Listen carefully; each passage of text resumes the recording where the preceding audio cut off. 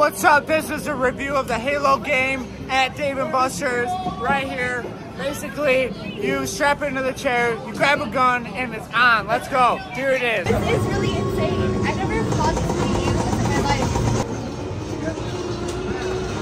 Go, go, go, go. I ran that shit back up. I got infinite money.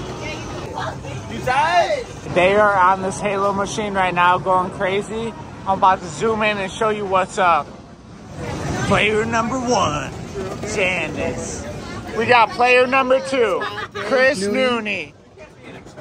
Gun shoots fast.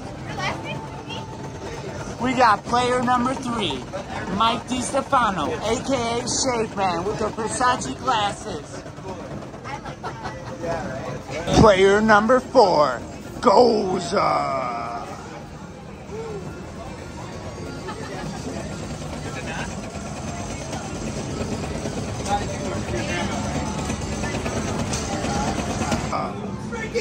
We can cross swords. He said we could cross swords. We're in Halo World.